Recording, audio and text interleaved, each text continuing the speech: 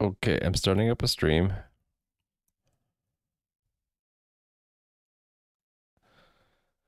All right, resurrecting an old project called the Data Disintegrator. So let's go to projects, make directory, Data Disintegrator, and copy from media AS PSF shared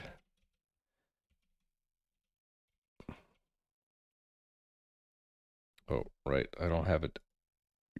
Don't have it uh, over there yet. Hold on. Push sh.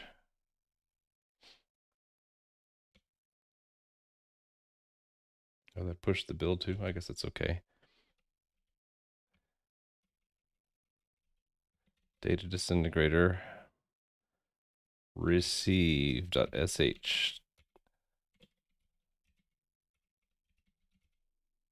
and receiving the project. File open folder. Hey there, Nightshade dude. Yes, a wild Rhymu has appeared. Projects, data disintegrator. There goes nothing. Yes, we're using Clang 14. I gotta try to get this to work again. Could not find Bison or Flex. All right, we're gonna need those. So, could I please have my shell? Here we go. Um, forget on, yeah, it's apt, right? So apt. I haven't done this in a while. Uh, sudo apt.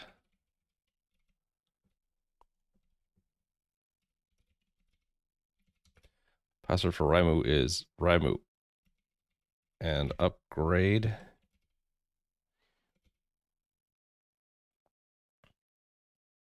How does this affect my streaming? Doesn't affect it at all. That's great. Hey there, Epic Unknown. Hey there, C17R. And hey there, Sarian. Yeah, I'm starting up a new, well, I'm re resurrecting an old project called the Data Disintegrator, and I'll just leave you guys in suspense about what it is um, until I get this up and running. I basically didn't do any prep for the stream other than make sure I could build this thing and run it on on the Mac. And now I'm trying to do the same thing on um, live on the stream on this Linux VM. I know. Now you know my password to on my virtual machine. Shucks. I'm going to get hacked now. Downloading a new kernel. What kernel are we on now? 6.2.0-34 and it's going to go to I don't see it now.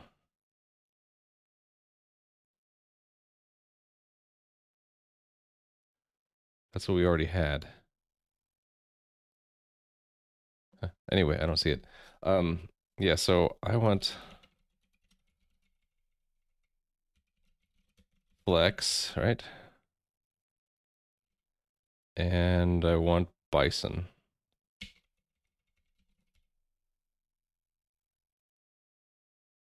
Okay, so let's rerun CMake.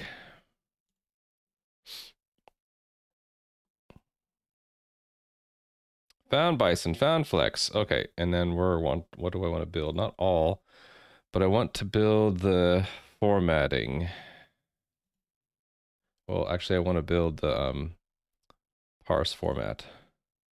Build. Wow, okay, cool, it works. Pending update of Chromium.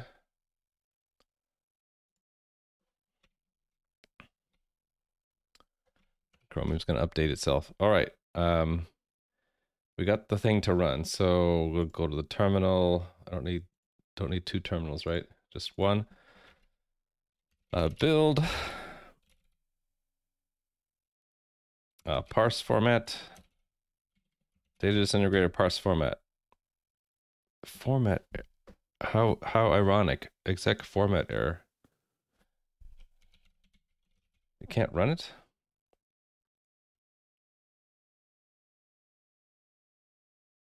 That's weird. Oh, oh, wait. I think I know why. It's building it for something else. Because I had an old build folder. Hold on. I need to, um... I think I need to clear out... Oh, it was building it in build VS Code. Okay, so build must be, um... From the other machine. So let me remove it. So I don't get completely confused. The It's uh, from the, from the, um from the Mac itself. So remove build, it's build VS Code. Okay. Parse format. There we go. Okay. So let me see if I remember how to do this. I um, want to um, pick an easy file format. So what if we pick a GIF? GIF's not too bad, right? GIF format. Uh, uh, here we go.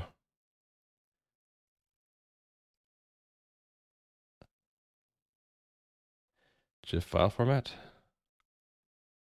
No, back to here.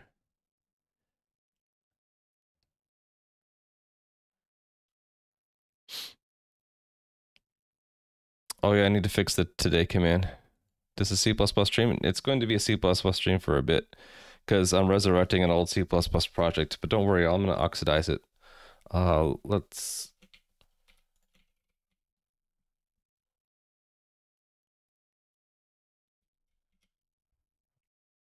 Edit com today. Today. Re resurrecting an old project.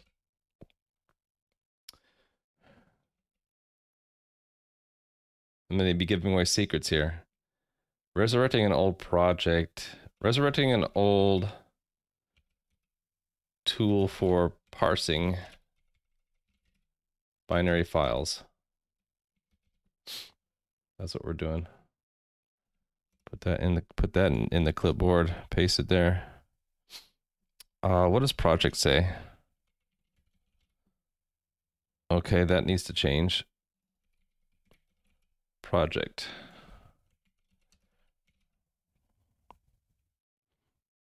Rhymu is um, starting up, well, restarting.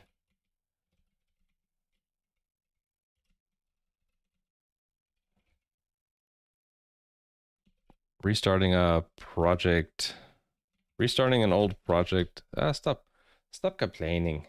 Actually, what? There's just too many things on my bar here. Uh, how about we get rid of CMake tools for a bit? It's not markdown, it's just plain text. Give me a break. Okay, right. It's restarting an old project.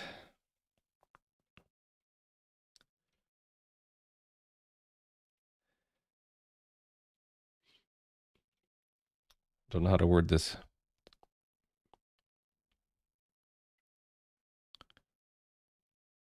Okay, why don't I just copy from the today command?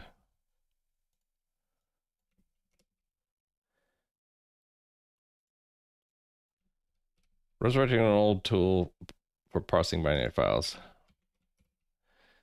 There. Okay. That's what I'm doing. The secret has been exposed. So um, Uh, what I want to do here. Okay, I want to make a folder or something for like examples or something, or like a staging uh, staging area. How about we call it staging area or stage? I think I want to ignore that, so we're gonna say ignore the stage. And in the stage, I'm gonna make a file like a GIF.format. Okay, and then um, I need to I need I need to find the GIF file format, and then I'm going to write it in my domain specific language, and then I'm going to use it to parse a GIF file. Okay, so um, what I need is like the actual file format specification if I can find it. Terminology, pronunciation. That's an example. But there's like an old specification.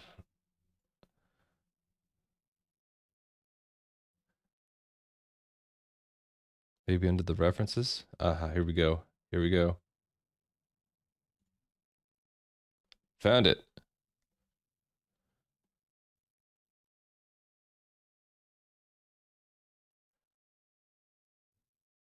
Syntax. Block terminator header. Here we go. The GIF header. Okay. I want to save this file. So how do I do that?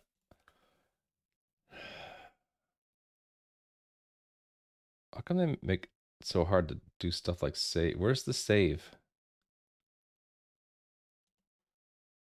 Right click.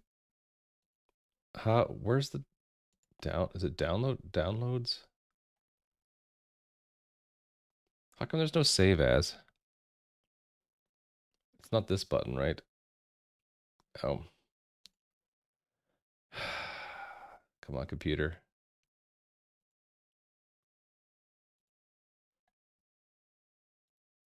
Chrome, why you do this to me? How come there's no save as? More tools? Ah, more tools. Save page as. okay, uh, um, home, projects, data disintegrator, stage. Uh, we're going to call it um, the spec. Well, how about we just call it gif89a.text. Okay, and then go over here, and then we have gif89.text. Okay. So blah, blah, blah, and a blah, and a blah, and a blah. Header. Irritatingly, it's slightly more. Oh, or maybe it's just my window. Slightly more than 80 characters wide? No, it's just my window. What the heck? Why do I have to intrude upon chat to see all that text?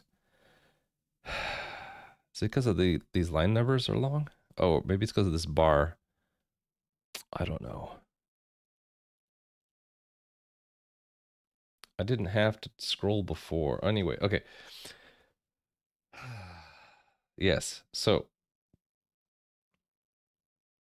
let's at least see if we can parse the version number out, right? So signature is GIF, version number will be some string. So um, seeing if I can remember from heart, I think it's GIF Okay, I can't remember. uh, let me cheat and um, pull from uh, another project. So hold on. You can't see this. I'm just gonna like pull a random thing.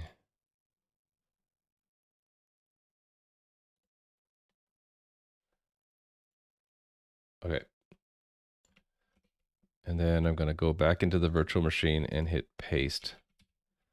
So here's, so here's what it kind of looks like. Um, so if I want to, if I expect that the first, um, yeah, I don't remember this at all. I expect there to be a header.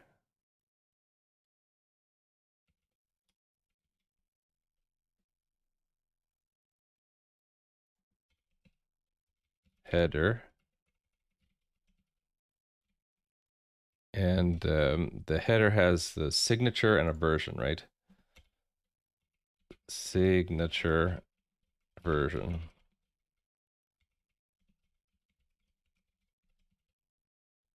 Signature, let's just keep this down here, example. All right, signature is um, G. How do I do a raw thing? I think this is how I did it. So it's unsigned integer G8. I 8 F 8. All right, and then version.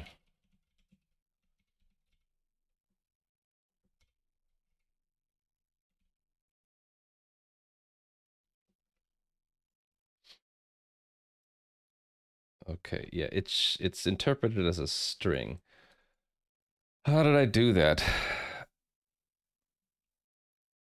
Oh, okay. So it's just a value. So yeah, just I'm peeking. I'm peeking in another window. All right, so um, I guess we'll just put it in here. Actually, then I don't need these as separate structures. This is just um, peeking a little bit. Oh, it's S. Okay, I have a built-in type called S. S signature 24 bits. S version 24 bits. There we go.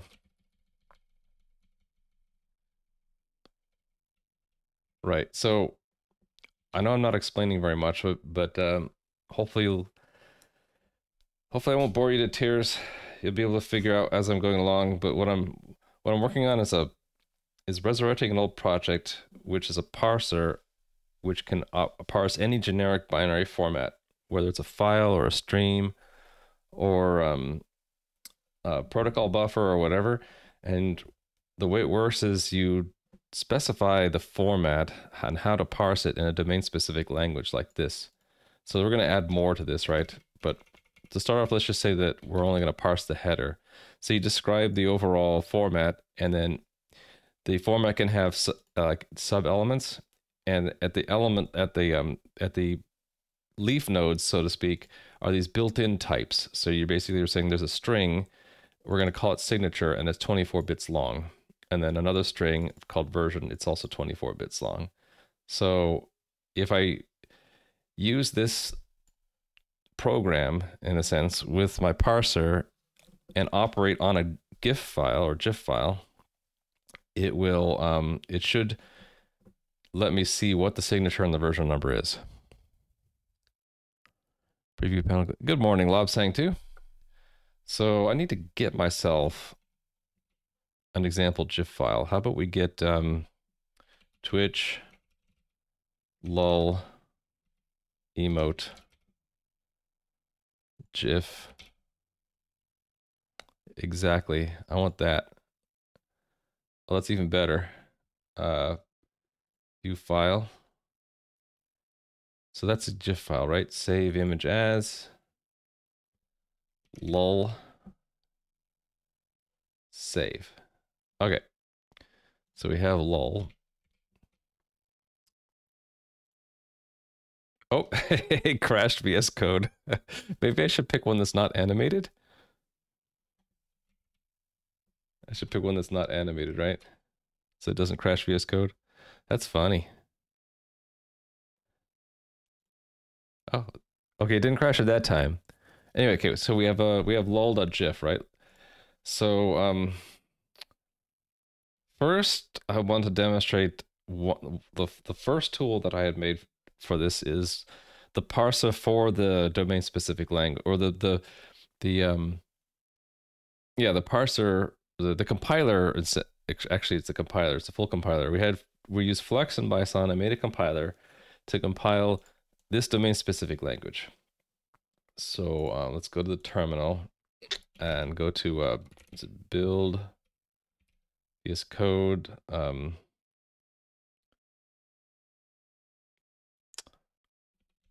formatting, right? So, no, it's not that. Is it parse format? Parse format.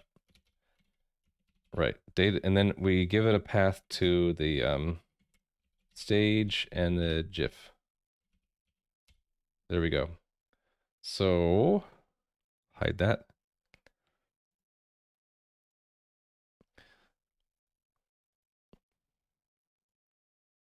Uh, how come it only gave me the signature but not the version?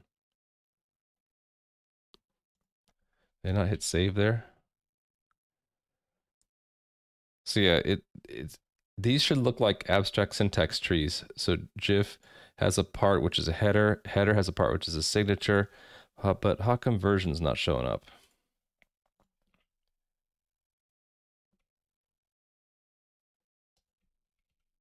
Okay, there it is. Okay, that's just an artifact of the terminal. Okay, so very simple abstract syntax tree, right? So a GIF has got a header. A header has a signature and a version. Okay, so then the next tool is um, show the uh, CMake stuff again. Um, it is the actual decompose tool. Hopefully this builds too. All right, so that's that's cool. It built. Decompose.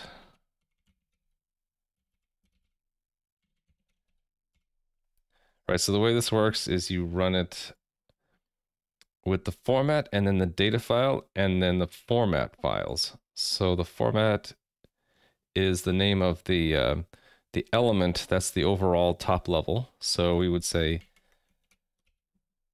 GIF, and then the data file is uh, lol.gif, and then the format file is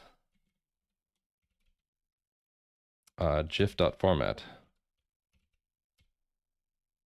Okay, and then I think I have to do dash R, right, for report.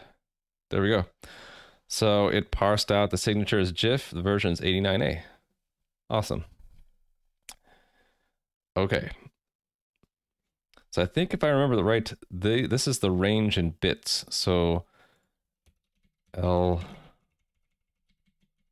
stage lol. It's um one it's over a megabyte, right? So over eight about eight million bits, 8.8 million bits. And it says the signature is the first 48 bits yeah, this is this this is including bit zero, but but stopping before bit eight, so 48, if I remember right. So it's like zero to 48 with the parentheses instead of a um, a bracket, right? So it's non-inclusive of the end. And then in that, the first 24 bits is GIF, and then bit 24 to 48 are 89A. Right. So then let's do a little bit more parsing. Um,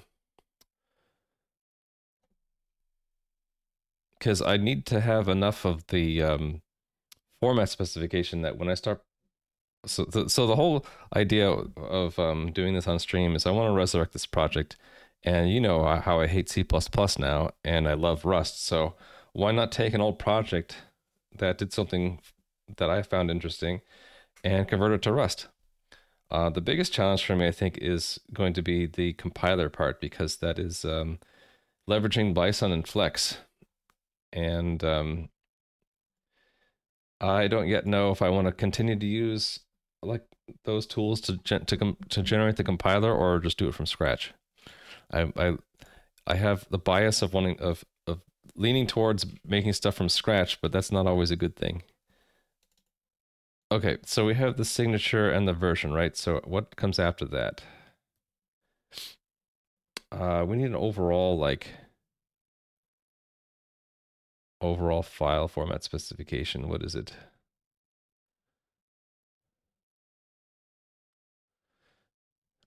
I guess if I were to slow down and read this, it would maybe make more sense. This is this Go? No, not Go. Go with logos and chumsky for parsing. Um, here I'll give you a taste of what the how the compiler is written currently. So in formatting, we specify the lexer, all right, with flex. So we're going to interoperate with Bison. We're not going to run interactively. We're using uh, Bison locations. It's a reentrant scanner. We're going to maintain a line count. We have conditions um, this is this should say end condition, not start condition. Oh wait, no, these are start conditions for when scanning the body and end limit. So this is when we're parsing streams. So here's the top matter. We're going to include um, our token symbols from the parser. Um, yeah, this this probably doesn't make any sense to, to you guys unless you've built a compiler before Bison and Flex. But basically, this is kind of like boilerplate. Um, here's where it gets interesting. So this is what we how we define for the lexer uh, how uh, how to parse different tokens. So a digit is just a single character in the range of zero through nine. Hex is actually it's a character class, right? The character class is zero through nine, or A through F, or capital A through capital F. Alpha is A through Z, or capital A through Z, or underscore. Alpha num is a combination of alpha and number. The sign is plus or minus. Exponent is either E or capital E, and then a plus or a minus or plus, maybe. And then 0 through 9, one or more. Parsing what kind of binary files? Any kind of binary files, Tinspin. So this specification parses GIF files. See? It parsed my lol.gif. We only specified how to parse the header, right? 24-bit signature, 24-bit version, but see, it parses it. Okay, provide some context to what I'm trying to achieve. Welcome to the stream. What I'm trying to achieve is I'm taking an old parser project and porting it to Rust. And um, I don't have a whole lot of time today. We're just setting up. Uh, this is the very first stream. That's why in the title it says 001. So tomorrow it will be 002, and maybe we'll be doing something more substantial. I wanted to first make sure the old compile the old parser, which is C++ based, still works on on the virtual machine, and kind of exercise it a little bit and kind of explain a little bit. Is it yours? It's mine. Yes. I didn't get it from anyone else. Um, this is one of my very long term projects I've been working on for years. Um, it actually started when I learned compilers in college. Um, and I had this idea that um, I can make my own domain specific language that um, describes how to how to parse stuff, and then um, I could just take specifications like GIF here and code it in my language and then use my tool to parse those files. Looking on Google for what it is. Yeah, I don't hopefully you won't find it because I have I never published it open source. It's like a private thing. Okay, so continuing on what the um what tokens we have in our language, right? We have digits, hex, alpha, alpha num, sign, exponent, content of a string. Right, so we can have um anything that's not a double quote, a character turn or line feed, or we can have an escaped double quote. Makes sense, right? Rules section. So here are the reserved words in our language. If, else if, else for while, in, error, break, return, nil, set, map, vector, local, and copy. And then all other words are identifiers. So starting with an alpha and then having zero or more alpha nums. And then this, here's where it gets interesting. So you can have data attached to tokens. So we actually take the content of the token and we um, put it into this um, S, uh, which is this yylval is like a union. So S is like the part of the union that we use for strings. And then we we say that the the uh, the um, what do you call it? The distinguisher, the the determinant, whatever the, the thing that says what what the union actually holds. It's an identifier. If we see this pattern, see these patterns are kind of like regular expressions, right? So we might have a sign. We have one or more digit followed by, um, I think, oh yeah, for a little floating, literal floating point value, you have to have a dot followed by one or more digits followed by um, maybe an exponent, right? But here it's a decimal and we use the D part of the uh, uh, union. And then a literal integer value uses the I. It's maybe a sign, um, and then a zero, and then, all right, because it's octal, a zero followed by one or more zero through sevens. And um, we use the string to long, long, long, I guess, 64 bit long, um, and say it's base 8. Hexadecimal is going to be a 0 followed by a lower or uppercase x, one or more hex digits, parse of this base 16. Literal value in binary is zero and then a B, and then there's one or more zeros or ones, and then it gets a little bit more interesting because we're you can't use string to LL with base two, so I was just literally like parsing it. um, decimal is very easy, um, and we had to put that last, otherwise it would match. Like these would also this would also match as a as a decimal, right? So if it doesn't begin with a zero, then it is a decimal, and we have one or more digits with possibly a sign in front. Okay, there we here, here we have the operators that I have in my language. So decrement, increment, arrow, left, right, shift, less than or equal to, all that good stuff. Um, nothing unusual there, right? Except for maybe flip and not are different symbols. Okay, double quote begins the string. So this syntax in flex means we're um, we're shifting to a new state. So in this string content state, um, we only match rules that start with this. So um, if we see a double quote, we go into this state and then we see a string. Oh, this is a this is a fake rule to match um, if we um, are missing the, the terminator at missing the string terminator at the end.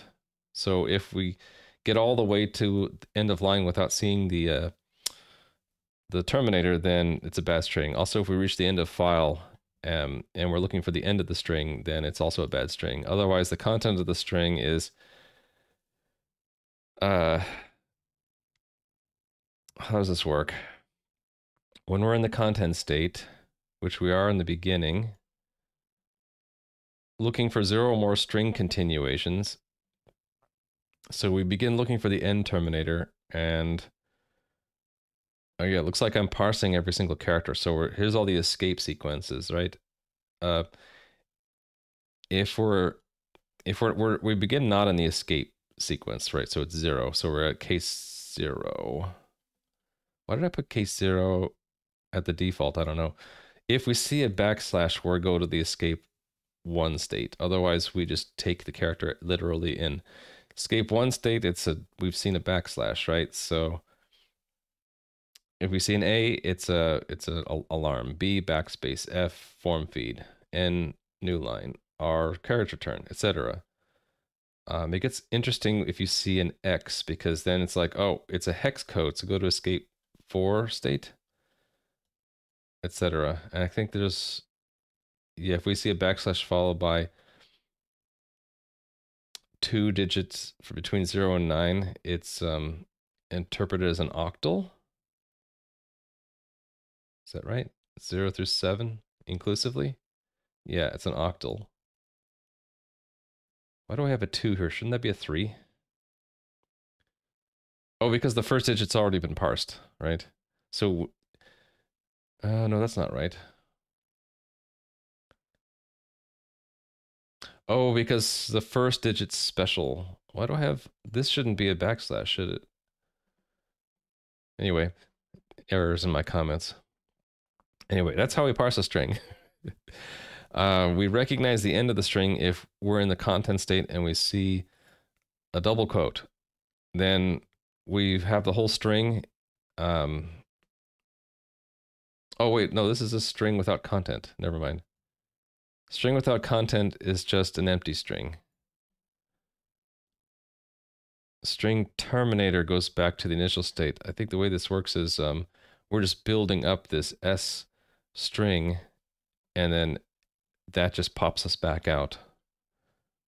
Right, comments are anything that um, starts with double slash, double forward slash, has anything in it, and then ends in the new line.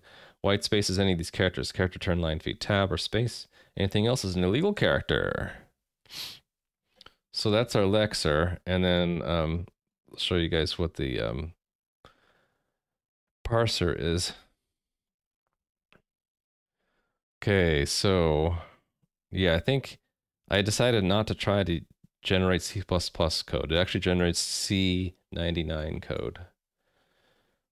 So this is boilerplate for the top of our parser.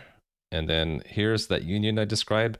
So all symbols from the lexer end up filling in one of these for every symbol. Um, it, whether or not we use it. So the symbol might have an attached string, might have an attached integer, a floating point value, or um, yeah, these three are used by the lexer, and these four are used by the parser when we build up more complex things in the grammar, right? So more boilerplate. Uh, here's our error handler. Um, I have a callback structure that we use to call whatever this parser is built into. We'll call a callback whenever we get a syntax error. Say what the line number, column number, and all that is. Um, yeah, when we get a format successfully parsed, we emit it this way. Okay, and then again, the parser is written in C. It um, we have a scanner object rather than having global variables. That's what this API pure means. So no global variables, which is good. We remember the line number and column number of every symbol. Um, I have a, a type, a type array scanner object that's shared between the parser and scanner. Okay, and then here are our tokens. So there's the special, um, yeah, bad string is interpreted as as an illegal token. And actually, these are declarations, right? Why did I have bad string illegal? I think as bad string can be emitted by the lexer and illegal, I wanted to have other things mapped to illegal. Anyway, um, we have identifier, which uses the S part of the union. Integer uses I, decimal uses D, string uses S. Then we have um, reserved words. And I think I have, yeah, right. We list them kind of like some of them on the same line and some of them not, because the order in which you list these like defines the order of, of uh, like associativity, right? So um, we want if to be like the outer, all of these are like outermost syntax and these these other ones are innermost. So we have um, and this if you have left and, and right, they're actually like left associative or right associative. I think if it's just token, it's not associative either way. It's sort of neutral. Comma, this is um, assign accumulate. That's equals plus. Plus equals? No, this is equals and plus plus are both right associative. We have or and and. We have non-associated in. I forget what that is. Um, inclusive exclusive. What was that? I need to go back to my my lexer to see what those were. Inc oh, inclusive or exclusive or. That's what that means. So inclusive and exclusive or mask is what is and equal, not equal to left, so then left greater than, less than greater than, less than equal to greater than equal to left shift right shift, minus and plus. So here, like if we're talking about order of operations, we have to list minus and plus first because it's less, um, it's weaker bound, or I forget the proper terminology, but like if we have like A plus B times C, we want to do B times C first, and then the plus A if I had these lines flipped, it would do a plus b first and then multiply by c. So and then right associated, we have the not, the flip, the negative, decrement, increment, and then most tightly bound is the dot, the parentheses, the brackets, and the braces. Right, and then we have the um, the four things that the parser is adding for tokens that use um, elements in the um, the uh, the union, and that's format statements, references, and expressions. And these are the these are the um, tokens that use that part of the union. We have here's where we define our destructor. So if it's an if it's an S, we use free to free it. If it's format, it's destroy format, statement, destroy statement, all that good stuff. And okay, here we go. Here's the grammar for the language. So formats can be an empty, like, or it can have some formats plus another format, or it could have some for, list of formats and something illegal. So this is the catch catch-all rule where we have a, like an illegal character, like a syntax error, right? or a Lexer error. A Lexer error will be caught by this rule.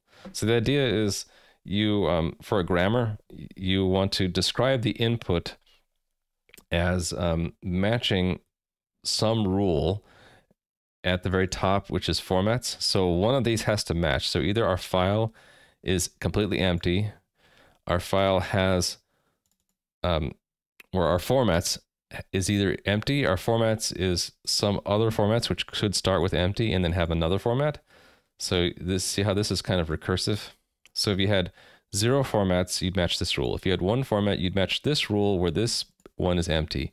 If you had two formats, you'd match this rule where this one matches this rule again, and then inside of that, that one's empty, right? So this is sort of chained recursively. Um, and we would end up calling init format for every format, right? Or if you have, at some point, you have some illegal character, you'd have some legal stuff followed by some something illegal, and then we generate an error. So what is a format? A format is an identifier, some optional um, argument list, left brace, statements, right brace. So, so going back to here, right? And that is the identifier. That's um, the left brace. That's the right brace. And statements is this stuff. Or here's statements also. So here's an example of a statements with just one thing, and here's one with two things. Um, how much I got like eight minutes to, more to talk about this. So I'm mostly going to cover the grammar today. Um, tomorrow, I think I'll just I'll get a little bit deeper into the format of GIF, and then at some point, I got to start porting this to Rust, and I have to decide whether I'm going to do it, do all this stuff from scratch, or leverage Bison and Flex, or leverage some Rust equivalent of that. Anyway, um, a statement would be done here, right? Statements, a sequence of statements. So again, the, the chain pattern, right? We either have an empty statement or we have some bunch of statements and then another statement, or we have some illegal character, right? So if it's just a single statement, then this statements will be empty and this one will not be empty. So we chain will be null. So we'll go into here and just we have a single statement, right? In the case of this, it'll match two rules recursively. The first one will match this. When we see that, it's just one statement, right? But when we see that line, we'll end up matching this rule because chain will be this part, and then this will be the next statement. So we take the last, we, we take that chain, and it's sort of we're forming a linked list. Um, we're um, linking the, the statement to be, um, how does this work? All right, the chain is sort of the linked list, and the linked list has a uh, has a last pointer and a first pointer, I think, or a last and a next, or something like that. So from the last one, the next one is this next statement. The statements to go back, you go back to that last one, and then last moves up to statement. Statement next is the chain itself. I think it's because it's a circular linked list, and the head is a special empty node that just is used to, to handle the list, if I remember right. So anyway, what is a statement, right? So a statement is a statement body, and we have a bunch of rules. I think this is just, yeah, this is just a wrapper rule so that we can attach the uh, line and column boundaries of the statement to the to the token, uh, to the um, yeah to the grammatical um, entity so that if we have if we want to if we wanted to we can list out uh, where in the format file the the uh, the statement was right? So the statement body here's where it gets more complicated right a statement body could be a part specification which is this is the part specification right in fact all three of these are part specifications right Actually, this might not be. What is a part specification? It consumes some bits. So we have some subformat identifier, and then optional part, optional expression list, optional assignment, op optional bound, and an interp. So yeah, I have comments here because this one's complicated. Subformat is the format for the part. So it could be a built-in format or it could be we could build off of things. So like S is a built-in format called string and or we can build off of it, right? If it's a header then it has to find header as a format somewhere else. Um, so yeah, we can have arguments, all that stuff. Right now we don't. Oh, so these elemental ones um, probably don't match this rule at all, right? So I'll have to see which one it is. So it's not an ignore. Conditional logic is not that. It's not a for loop. It's not a while loop. Ah, I think it's bounded region. Defines a region of input bits. Right. Oh, no, it's not that, because that begins with a left, left bracket. Attribute accumulation. So which one is it then? Okay, it must be that first one then. It must be this. So I'm guessing that the way I did it was this is a bound. That that must be a bound. So that's the identifier. That is the part, right?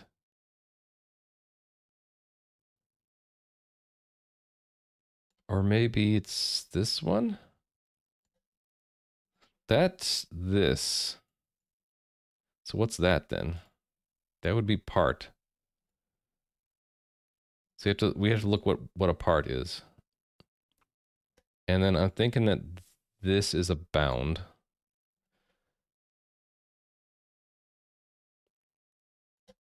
Oh, and all of this um ends with a semicolon, right? Statement um where do I specify that we have semicolons between them? Statement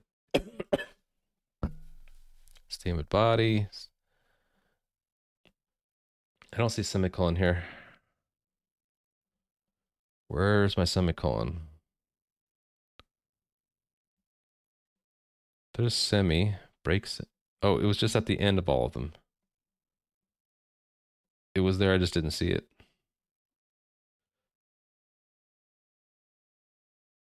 Actually, it's not there. Semi must be built into something else, like maybe interp or bound or something like that. okay, anyway, um, actually, maybe what would help is if uh, we turned on the, um, when I actually run the formatting.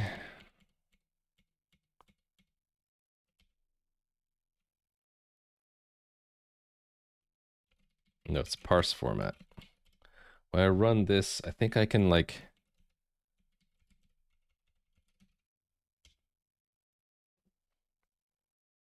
no help.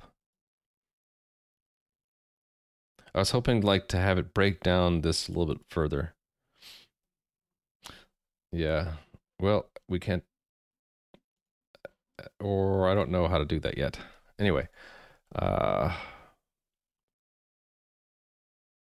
An optional bound is a colon and an expression, right? So that's a colon and an expression, right? That's an optional bound.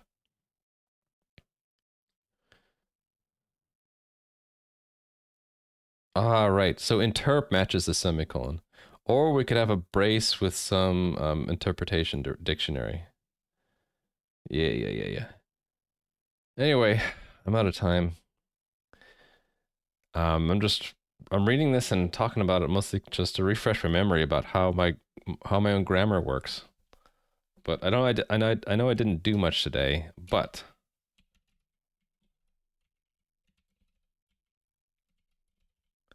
we did successfully parse out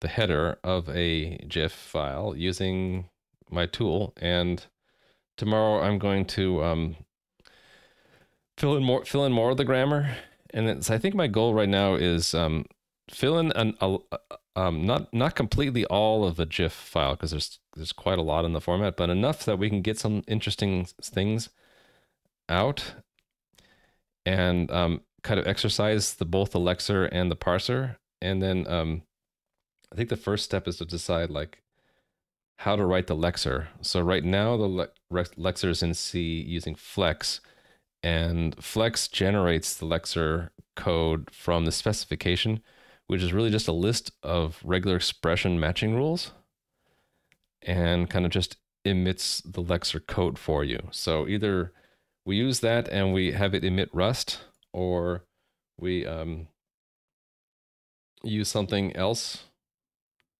like this that also takes regular expressions and generates code, or maybe I just do it by hand because um, my Lexer is not that complicated, right? Probably the most complicated thing in here would be something like uh, this, where we have like maybe a sign, one or more digits, a dot, one or more digits, may be an exponent. That's probably the most complicated matching rule in here.